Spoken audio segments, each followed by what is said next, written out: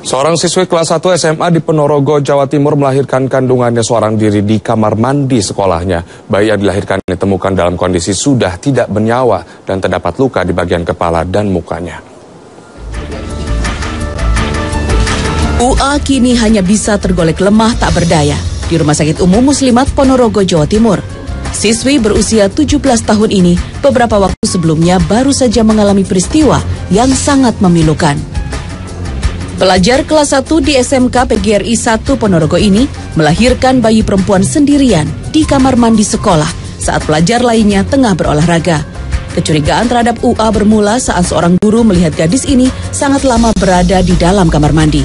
Karena curiga, pintu kamar mandi akhirnya didobrak. Pemandangan yang sangat memilukan pun tampak.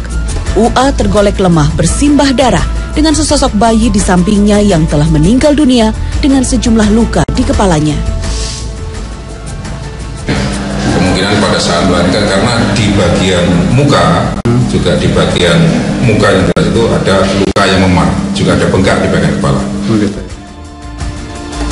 Untuk kepentingan penyelidikan, jasad bayi telah dibawa ke rumah sakit untuk diotopsi. Polisi masih menyelidiki apakah bayi sudah meninggal dunia dalam kandungan ataukah dibunuh oleh ibunya sesaat setelah lahir. Hendra Setiawan, Ponorogo, Jawa Timur.